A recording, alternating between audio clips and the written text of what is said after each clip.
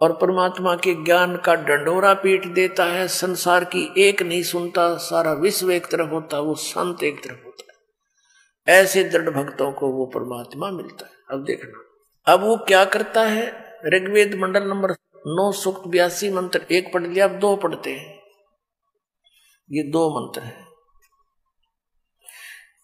हे परमात्मन उपदेश करने की इच्छा से, यानी ज्ञान देने की इच्छा से आप महापुरुषों को प्राप्त होते हो, मिलते हो, और आप अत्यंत गतिशील पदार्थ के समान, यानी बहुत स्पीड से तीव्रगामी होकर हमारे आध्यात्मिक यज्ञ को प्राप्त होते हैं। आप कबीर देव हैं। यहाँ लिखना था, आप कबीर देव हैं। बस दैट साल बहुत बढ़िया काम हो जाता। लेकिन इनकी बुद्धि इतना काम करे नहीं थी अनुवाद करताओं की।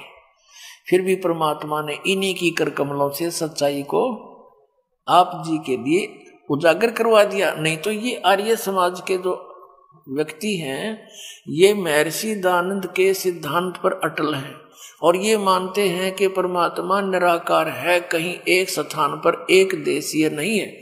और वेदों में स्पष्ट है। इन्हीं की कर कमलों से लिखा दिया, इनको याद भी ना होगा, हमने के लिखा उसमें। ये सतगुरु की लीला है, सारी परमात्मा कबीर जी की। यदि ये दास अनुवाद करता तो आम आदमी आपको भ्रमित कर देता कि अपने अपने हिसाब से सभी अनुवाद करते हैं। अपने हिसाब से कर रखा होगा आपके गुरु जी ने। अब दास ने तो इन्हीं के अनुवाद दिखा दिया आपको। अब ये कोई न्यू नहीं कह सकता कि रामपाल ने गलत कर दिया तो इन्होंने कर रखा गलत है या ठीक है। लेकिन ये सच्चाई है। परमात्मा के सौ प्रमाण देंगे कि वो परमात्मा सतलोक में है, मनुष्य दृढ़ शरीर है और वहाँ से चलकर आता उसका नाम कबीर है।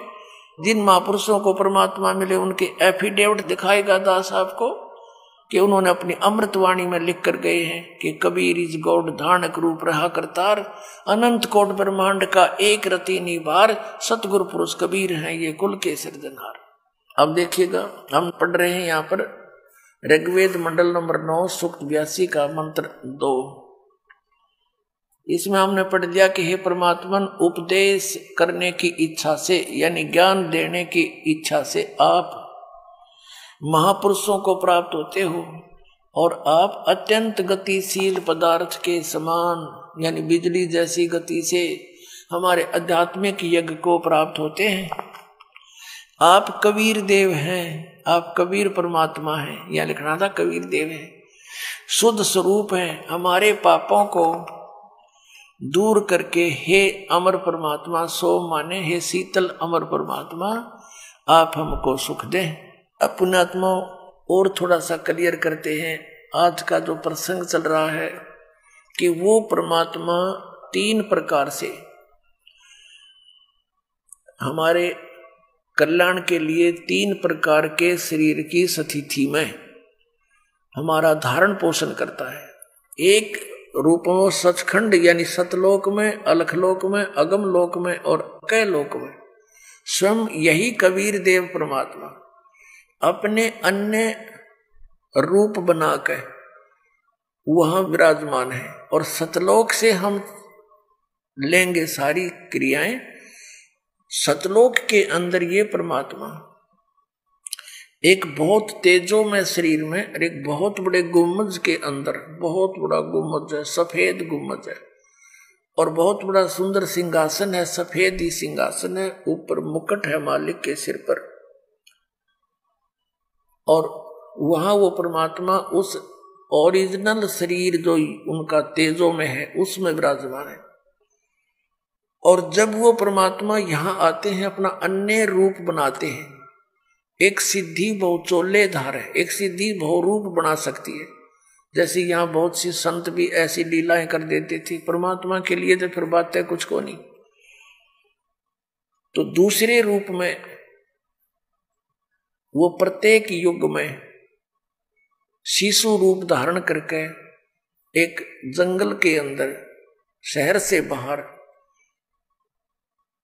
एक तालाब के अंदर शिशु रूप धारण करके वो कमल के फूल पर प्रकट होते हैं। वहाँ से कोई नी संतान दंपत्ति उन्हें उठा ले जाते हैं और फिर धीरे धीरे बड़े होकर के बचपन से ही वो इस तत्व ज्ञान का प्रचार प्रारंभ कर देते हैं। ये दूसरी सती थी उनकी और तीसरी सती थी वो क्या करते हैं? कि जब चाहे सतलोक से एक सेकंड के कुछ ही हिस्से में फ्रिक्शन ऑफ़ सेकंड बोलते हैं, वो सतलोक से यहाँ आ जाते हैं, प्यारी आत्माओं को मिलते हैं, उनको ज्ञान समझाते हैं, अपना वहाँ दरस्त कराते हैं, फिर उनको अपना गवाह बनाकर छोड़ देते हैं। उन महापुरुषों ने भी फिर वही ज्ञान बताया जो हमारे वेद बताते हैं। तो अब वेदों में आपने ये पढ़ा आँखों देखा कि परमात्मा ऊपर धूलोक यानी तेजो में लोक के तीसरे स्थान पर विराजमान है। एक देशीय है, वो राजा के समान देखने योग्य है, साकार है और वहाँ से गति करके आता है। प्यारी आत्माओं को, अच्छी आत्माओं को, जड़ भक्तों को मिलता है। उनको उपदेश देता है, ज्ञान देता है। अब आगे और प्रमाण देते हैं। अब वर्तमान का ये सत्संग चल रहा है, ये उस शुभ दिन के उपलक्ष्य में है, जिस दिन परमात्मा अपनी दूसरी सतिथि के अंदर हमारी संभाल करने के लिए सतलोक से चलकर आए, शिशु रूप धारण किया, लहर तारा तालाब के अंदर कमल के फूल पर परमात्मा आके विराजमान। आज सुबह के सत्संग में भी आपको ज्ञान सुनाया था, अब फिर पुनः एक बार क्योंकि आज का ये सत्संग उद्देश्य यही रखता है कि परमेश्वर की उस अतिथि को स्पष्ट किया जाए, जो अब तक समाज के अंदर भ्रम फैला हुआ था। कोई कुछ कहा करता, कोई कुछ कहा करता कि वो ऐसे जन्मे थे, कोई ऐसा कहता था, कोई कुछ कहता था। लेकिन सच्चाई से बहुत दूर थी वो लोक वेद था दंत कथाएँ थी।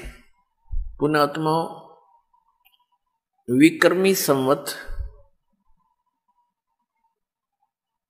चौदह सौ पचपन, ज्येष्ठ सुदी पूर्णमासी का वो शुभ दिन, जिस दिन परमात्मा सतलोक से चलकर उस तीसरे, उस धूलोक से गति करके यहाँ आए एक शिशु रूप धारण किया। लहर तारा तालाब काशी शहर के अंदर, यानी काशी शहर से लगभग चार किलोमीटर की दूरी पर लहर तारा तालाब उस समय, अब तो वो शहर के अंदर ही हो गया है वो स्थान। अब तो वो शहर के चारों तरफ़ से गिर गया है आबादी से। उस समय सन तेरह में वो शहर से लगभग चार किलोमीटर की दूरी पर था। और तालाब कैसे बना हुआ था कि गंगा दरिया का जल वर्षा के दिनों में, जो फुल स्विम पर उन दिनों दरियाएँ चलती हैं तो लहरों के द्वारा वो पानी घाटों पर से उछलकर, जहाँ गौ घाट होते थे, उन पर से उछलकर एक बहुत बड़े सरोवर का, तालाब का रूप धारण किए हुए था। तो उसमें विकसित कमल के फूल के ऊपर परमात्मा सतलोक से चलकर आए। ऊपर से एक तेज का गोला सा आया। उसके प्रत्यक्ष दृष्टा कौन थे? एक अष्टानंद नाम के ऋषि थे, जो आदरणीय स्वामी रामानंद जी के शिष्य थे। और अष्टानंद जी ने क्या देखा? अष्टानंद जी प्रतिदिन उस लहर तारा तालाब के ऊपर स्नान करके कुछ देर अपने गुरुदेव द्वारा बताई गई साधना का अभ्यास करते थे, भजन सिमरण करते थे। उस दिन भी वो बकत से गए हुए थे, प्रतिदिन ब्रह्म मुहूर्त में जाते थे। ब्रह्म मुहूर्त होता है, सूर्य उदय होने से डेढ़ घंटा पहले। ऋषि अष्टानंद जी उस लहर तारा तालाब में स्नान करके अपनी साधना करने के लिए बैठे थे। क्या देखा कि आकाश से एक बहुत तेजों में प्रकाश का गोला सा आया? उसने देखा तो क्या देखा कि बहुत तेज प्रकाश है, आँखें बंद होगी। अष्टानंद ऋषि की आँखें बंद होने पर उसने क्या देखा? एक शिशु बालक का रूप दिखाई दिया। फिर दोबारा आँख खोल कर देखा तो उस प्रकाश के कारण पूरा सरोवर जगमगा गया था और वो प्रकाश एक कोने में जाकर सिमट गया, यानी परमात्मा अंधेरे में जाकर लेट गए बालक रूप धारण करके। अब अष्टानंद ऋषि ने सोचा कि अपने गुरुजी से पूछूँगा, स्वामी रामानंद जी से, कि आज मैंने जो ये प्रकाश देखा, और इस प्रकाश के अंदर शिशु, बालक देखा, ये मेरी भक्ति की उपलब्धि है या कोई मेरा भ्रम है? अपनात्मा जैसे हम सूर्य की तरफ़ देखते हैं नंगी आँखों से तो हम सूर्य को देख नहीं पाते, आँखें तुरंत बंद हो जाती हैं। आँखें जब हम बंद करते हैं तो सूर्य का प्रकाश रहित आकार वो गोला दिखाई देता है। ऐसे ही जब अष्टानंद जी की आँखें बंद हुई, परमात्मा के उस तेज को सहन नहीं कर सका तो आँखें जब बंद हुई तो उस प्रकाश रहित जो आकार देखा वो शिशु बालक का रूप था। अब अष्टानंद जी ने जाकर आदरणीय स्वामी रामानंद जी अपने गुरुदेव जी से कहा सब प्रसंग बताया और कहा कि, हे गुरुदेव, आज मैंने ऐसे ऐसे साधना काल में आकाश से एक प्रकाश आता हुआ दिखाई दिया। जब मेरी आँखों से सहन नहीं हुआ तो आँखें बंद हुई तो भगवान आँखों में अंदर एक शिशु का रूप दिखाई दिया। कुछ देर के बाद मैंने क्या देखा कि लहर तारा तालाब के एक कोने में वो दोबारा मुझे दिखाई कुछ नहीं दिया। अंधेरा था भगवान। तो आपसे जानना चाहता हूँ, ये क्या था मालिक? स्वामी जी ने कहा, बेटा, जब ऊपर से अवतार लोग आते हैं, ऐसे तारी से टूटा करते हैं, और वो यहाँ आकर किसी माँ के गर्भ में आएगा कोई ऊपर से अवतार यानी कोई गण आए हैं और वो अपना कोई लीला करने आए हैं यहाँ पर। अब जैसा भी उसने ज्ञान था, स्वामी रामानंद जी ने अपने शिष्य की शंका का समाधान कर दिया और गुरु जी जो शंका का समाधान करते हैं, शिष्य को सिरोधार्य होता है। वो तो बात वहाँ फिनिश होगी, समाप्त हुई। उधर से आपको बताते हैं कि ये डीरू निमा कौन थे जो जुलाहे थे? सतयुग के अंदर परमात्मा सतसुकृत नाम से आए थे त्रेता में मुनिंदर नाम से आए थे, द्वापर में करुणा में नाम से आए थे, इसी प्रकार लीला करते हैं जो उनके गुणों में लिखी हुई है। द्वापर में जब परमात्मा आए थे तो करुणा में नाम से जब आए थे, सुदर्शन नाम के एक बाल्मीक उनका शिष्य हुआ था और सुदर्शन वाल्मीकि ने पांडवों की यज्ञ संपूर्ण की थी, जो श्री कृष्ण जी से नहीं हुई और ब्रह्मा विष्णु महेश से हुई नहीं और तैतीस करोड़ देवता, अठासी हज़ार ऋषि, बारह करोड़ ब्राह्मणों से भी जो काम नहीं बना था, इस परमात्मा के भक्त सुदर्शन ने वो यज्ञ सफल करी थी। सुदर्शन जी के माता पिता ने परमात्मा कबीर जी यानी करुणामय जी के ज्ञान को स्वीकार नहीं किया था और वो मृत्यु को प्राप्त हो गए थे। अब सुदर्शन जी का एक ही प्रार्थना थी कि हे भगवान, मेरे माता पिता बहुत अच्छी आत्मा के थे। उन्होंने आपके ज्ञान को ग्रहण नहीं किया, उनका दुर्भाग्य था। भगवान ना जाने कहाँ भटक रहे होंगे, किसी और में कष्ट पा रहे होंगे। प्रभुदास की अर्ज़ है, मेरे माता पिता को शरण में लेकर पार करियो मेरे दाता। अब तो सब कुछ कर सकते हो, किसी भी युग में दया करिए तो परमात्मा ने देखा था, मुश्किल से एक भगत को तैयार किया, ये भी माता पिता के झंझट में फंस गया। तो परमात्मा ने कहा था, बेटा, तू निश्चिंत हो जा और तेरे माता पिता को पार करूँगा, मैं कुछ भी कारण बनाओ तो इस कारण से परमेश्वर कबीर जी ने करुणा में से ये प्रोमिस कर लिया कि मैं तेरे माता पिता को पार कर दूँगा, चिंता ना कर। तो वो आसानी से सतलोक चला गया नहीं तो वो माता पिता के प्रेम में यही फिर भटक जाता। इसलिए मालिक ने वो उससे वचन किया। उस वचन अनुसार परमात्मा उन प्यारी आत्माओं को, सुदर्शन जी के माता पिता वाली आत्माओं को मिले।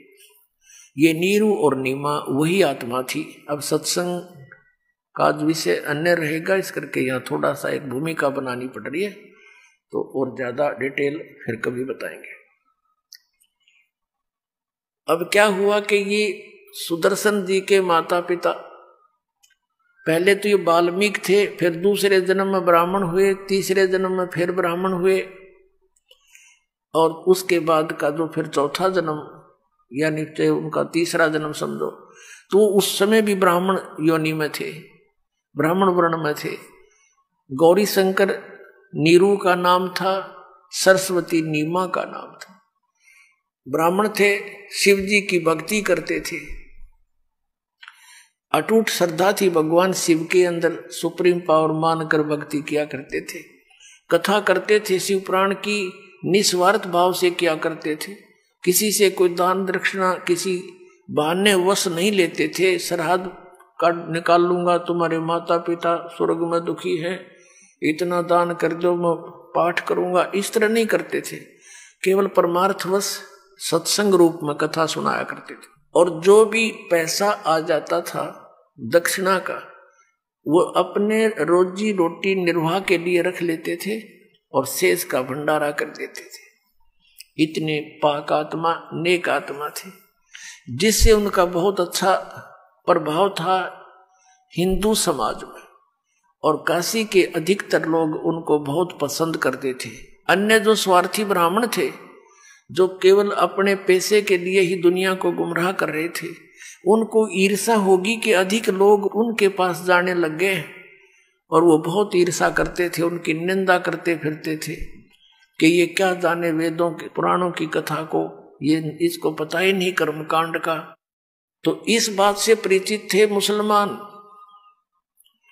मुसलमानों का दाव लग गया कि हिंदू धर्म के अधिकतर जो गुरु हैं, ब्राह्मण हैं, वो इस गौरी शंकर के विरोधी हैं।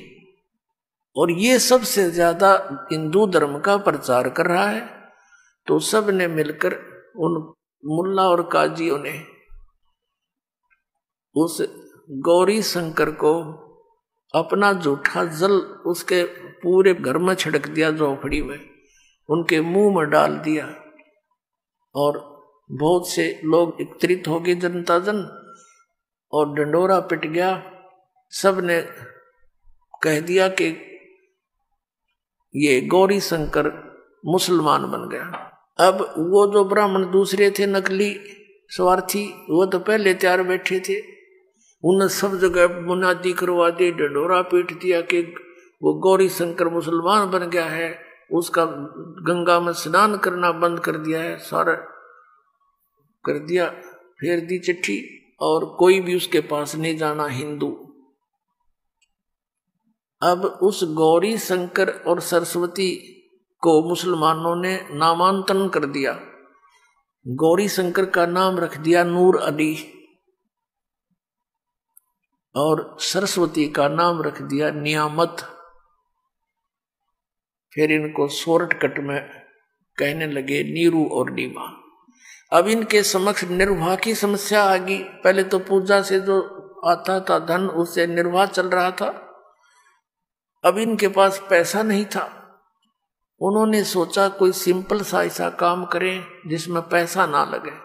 तो कपड़ा बुनने का जो वो स्ट्रक्चर तैयार किया जाता था, उसमें पाँच चार डंडे से गाड़ने होते थे बस पाँच सात जगह। और उसमें बैठ के वो ऐसे तार पूर के और कपड़ा बुनते थे जुल्हे का कार्य करने लगे। कहने का भाव ये है कि वो जुलाहे का कार्य करने से जुलाहा कहलाए और उनकी आयु लगभग पचास और पचपन के आसपास हो चुकी थी।